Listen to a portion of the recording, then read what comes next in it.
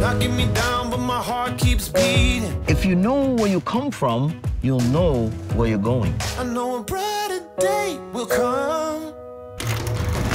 My lovely city became divided. Every bruise and every scar makes us who we are. We were brought up in a culture that valued story. Our stories deserve to be heard. Okay, what just happened? it's moving. My heart is singing. They could not imagine existence without the buffalo. There's no gospel without the totality of African American culture. Our future looks like us telling our stories. Makes us who we are. Wow. God, that's satisfying. Who we are.